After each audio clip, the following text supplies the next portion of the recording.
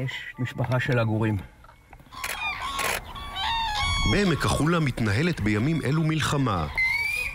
אם לשפוט לפי התמונות הללו, מלחמה אבודה. שלושים שומרים מגרשים שוב ושוב את העגורים מהשדות, אבל אלה לא מתרגשים ומדלגים מחלקה לחלקה בלי פחד. הם פשוט מחסלים יבולים חקלאיים. בימים האלה אנחנו מגרשים מכל מקום שמותר את העגורים לפי תעדוף, לפי עוצמת הנזק שהם יכולים לגרום לשדה החקלאי. בכל שנה עולה מספרם של העגורים שגילו מחדש את שדות העמק לאחר הצפת אגמון החולה לפני כשני עשורים. בימים אלו חונים בעמק החולה כ-40 אלף מהם. במשך שנים פעלו החקלאים בשיתוף פעולה עם הקרן הקיימת לישראל שמפעילה את אגמון החולה, אתר שמושך אליו אלפי תיירים, גם בזכות העופות המרשימים האלה. אלא שעם העלייה במספרם ועם התגברות הנזקים, החלו החקלאים לגרש בלילות מסות גדולות של עגורים כדי להציל את פרנסתם. יש פה איזון משמעותי שהופר, שהוא היה קיים במשך שנים בין הטבע לתיירות לחקלאות, והוא נהיה נטל על החקלאות. הדבר הוביל לקרע ביחסים בין קק"ל לחקלאים, שסיוע היה בהודעה הזאת, שדיברה על משבר אמון, והודיעה על הקפאת שיתוף הפעולה לרבות תקציבים לפרויקט העגורים.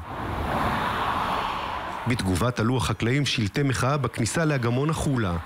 כל הפרויקט הזה שהוקם בשנות ה-90 היה אה, פרויקט שדיבר על משולש של חקלאות, טבע ותיירות. זה לא המצאה, לא, רובי, לא היום אה, קמנו בבוקר ואמרנו, וואלה, אנחנו רוצים 100 אלף עגורים בעמק החולה. לא. יש פה פיתוח שנעשה יחד עם אה, שותפים. צריך אה, ליצור מצב שהחקלאות יכולה לפרוח ולא להיפגע, ואם היא נפגעת, לפצות אותה. לאפשר את קיום הטבע פה, הטבע פה היה הרבה לפנינו. גם בעבור קק"ל מדובר בפרנסה. בעת האחרונה נחנך מרכז מבקרים שעלותו נאמדת ב-130 מיליון שקל. הכניסה לאתר שהייתה חינם תהיה מעכשיו בתשלום. באגמון טוענים שהברחת העופות שנעשתה באישור רשות הטבע והגנים הבריחה מהאתר גם עופות רבים אחרים שלא גרמו נזק. כדי לשמור על האיזון צריך למנוע מהעגורים להיות בשטחים החקלאיים לאורך כל התקופה. לאט לאט כמות העגורים תרד בחזרה למספרים סבירים ולא תגיע למספרים שהגענו אליהם בשנים האחרונות. במסגרת שיתוף הפעולה בין כל הצדדים זכו העגורים להאכלה מסודרת שהרחיקה אותם מהשדות. עלות האכלה מיליוני שקלים.